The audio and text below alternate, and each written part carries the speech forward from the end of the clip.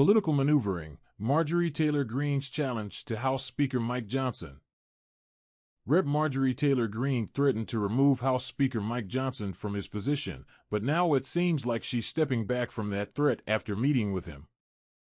She says it's up to Johnson to decide when they'll take action. She had demanded certain things from Johnson, like no more help for Ukraine and only passing bills if most Republicans agree. Johnson says they had a productive conversation, and he's hopeful they can work things out. Some other Republicans are supporting Greene's idea, but most haven't publicly backed it yet.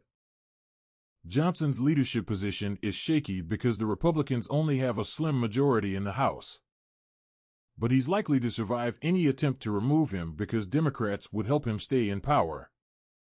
This whole situation shows how divided and uncompromising the House has become, and Democrats are getting involved to prevent chaos caused by far right members like Greene.